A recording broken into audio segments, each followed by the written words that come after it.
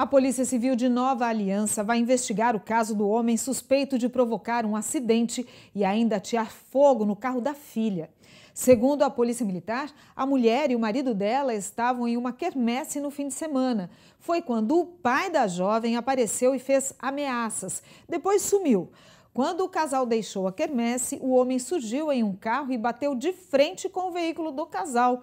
A filha e o marido não tiveram ferimentos graves e acabaram fugindo a pé. Quando voltaram, encontraram o próprio automóvel em chamas. O carro foi todo destruído. A polícia está à procura do suspeito.